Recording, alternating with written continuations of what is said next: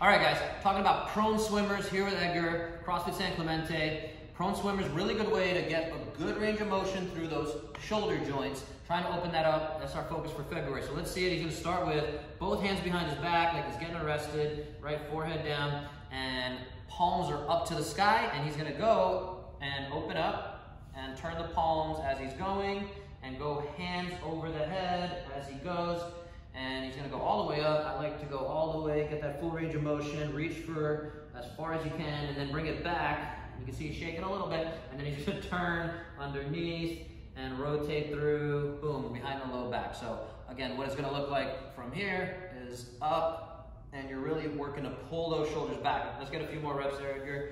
Good, and opening up those shoulders. Again, if you can't quite get this yet, you can start on a bench or on some boxes so you have a little more clearance, um, but eventually we really wanna get through there. You might get a little bit of dragging on the floor. So, prone swimmers, get it done, open up the